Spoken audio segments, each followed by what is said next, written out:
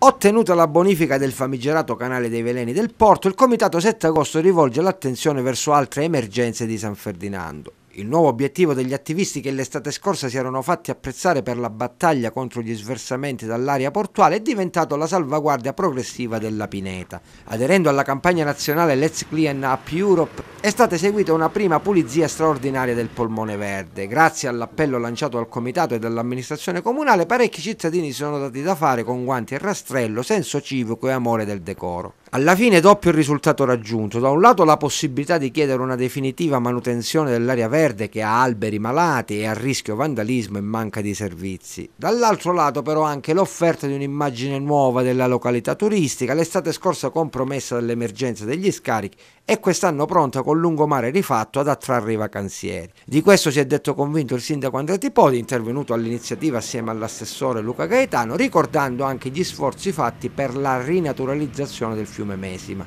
Agostino Pantano per la C News 24.